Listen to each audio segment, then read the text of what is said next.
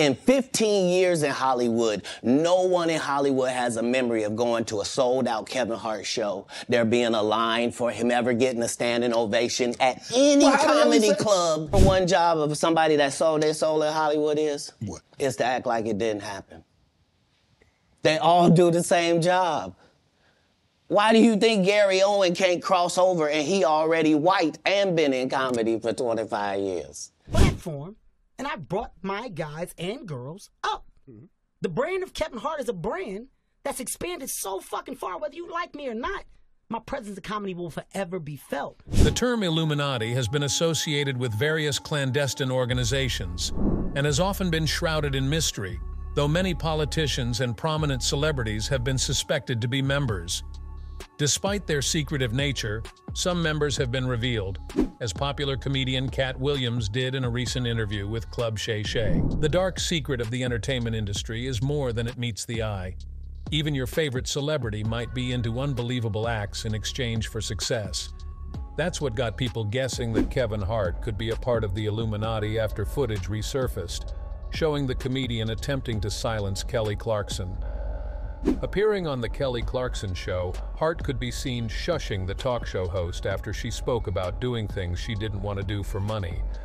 Clarkson then questioned Hart as to whether he had also received such offers, before suggesting that the people offering the money must be in the room. He then put his finger to his mouth in a shushing motion. Hart then said, That was my way of cueing you. It is open dialogue. We can talk about anything but not that. He then shushed her again with his finger. You've been off, yeah. Oh, they're in the room. Yeah, I don't want. I don't want to. Yeah. That was my way of Yes, cueing you. Like it's While the clip is fairly open to interpretation, some social media users have suggested that Hart could be connected to a secret society that controls the industry. They seem to have a point at that because in just over a decade, the comic and movie star has built a booming brand and endorsement empire, and many more while climbing about as high up the comedy mountaintop as possible. It seems the secret Kevin Hart didn't want anybody to know as he always presented himself as an independent personality, got exposed by none other than his colleague Katt William. In a show that has gone viral, Katt Williams chose to make a Wednesday appearance on Shannon Sharpe's YouTube show club Shay Shay, in which he unleashed a bevy of disparaging comments on several stars, most especially Kevin Hart. To not talk about things they don't want you to talk about. They tell you that themselves. I can't do that because I. Uh, Steve told you that he stopped doing stand up. During his interview, Williams suggested Hart was an industry plant, someone who presents as independent despite having the Hollywood industry or corporate connections. In 15 years in Hollywood, no one in Hollywood has a memory of going to a sold-out Kevin Hart show, there being a line for him, ever getting a standing ovation at any comedy club. Williams said during the interview with Sharpe, he already had his deals when he got here. Have we heard of a comedian who came to LA and in his first year in LA, he had his sitcom on network television and had his movie called Soul Plane that he was leading?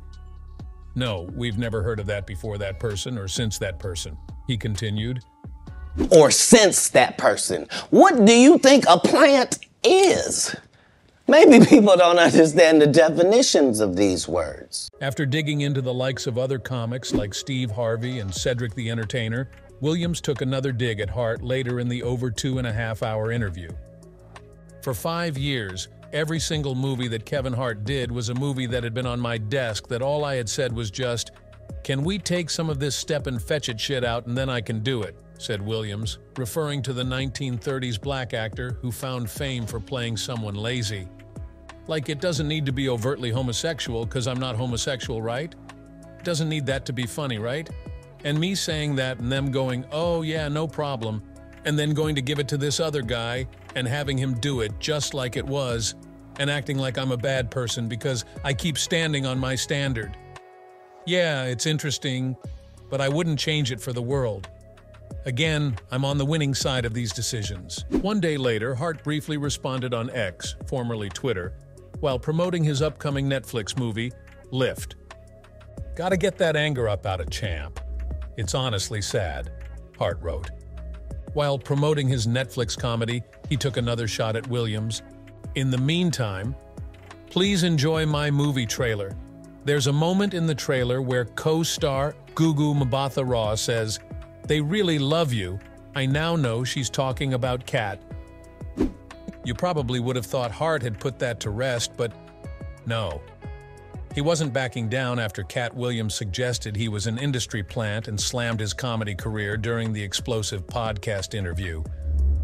Hart clapped back at Williams during an appearance on ESPN's NBA Unplugged. After host Kendrick Perkins referred to Williams' comments during the broadcast, Hart responded, Do you entertain the circus or watch it perk?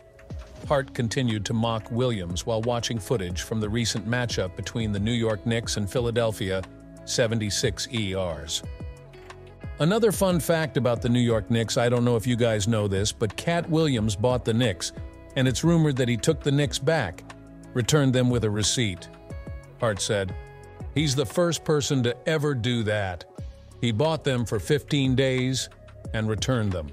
That's another fun fact about the New York Knicks. Hart also made jest of Williams' other claims during his interview, including that he read 3,000 books a year between the ages of 8 and 12.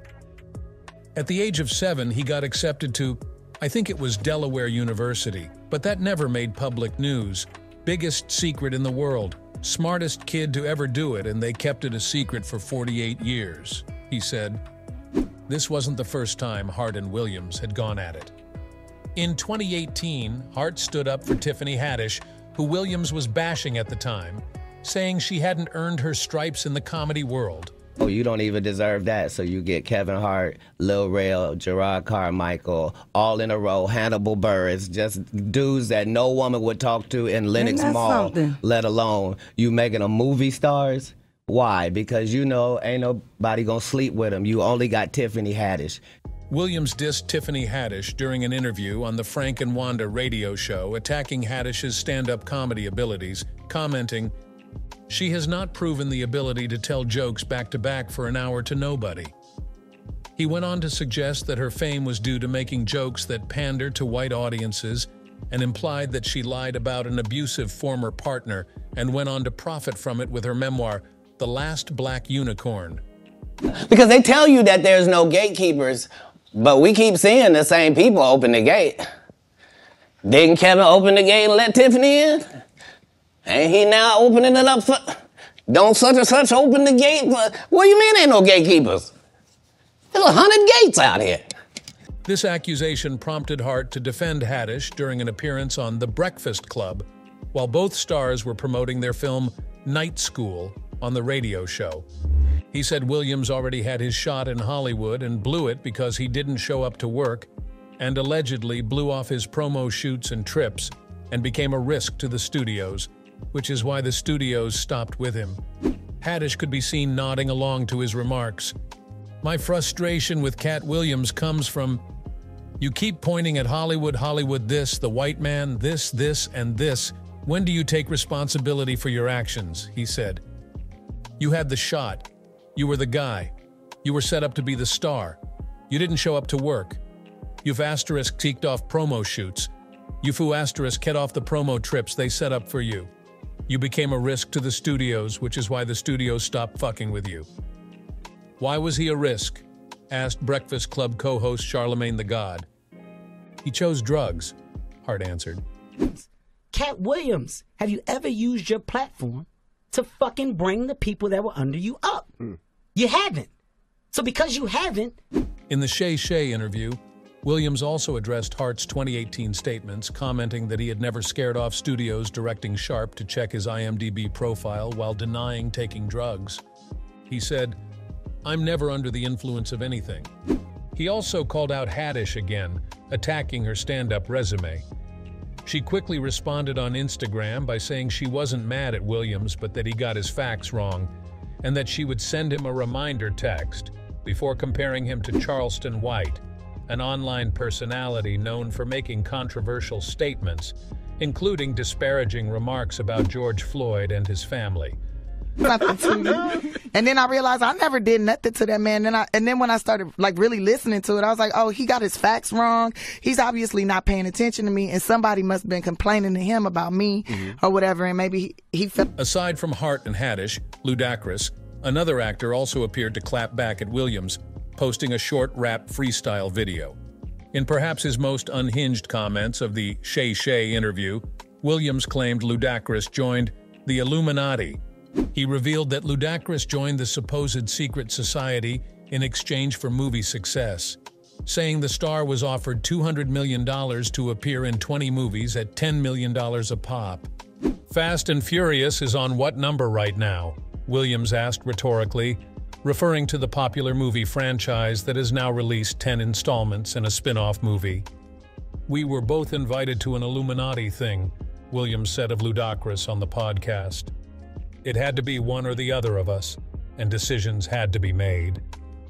The deal is for him to cut his hair and sideburns in exchange for being in 20 movies.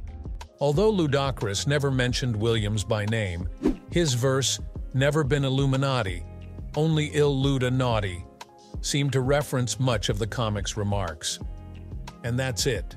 Kevin Hart's career projection is truly a secret like other celebrities, but does it mean he is into the secret Illuminati, as Katt Williams said? Let us know your opinion in the comments.